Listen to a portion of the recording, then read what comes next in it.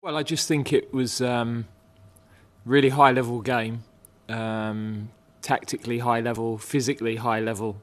Um, the I thought we started very well actually. 10 15 minutes we used the ball well. We looked confident. We were well organised.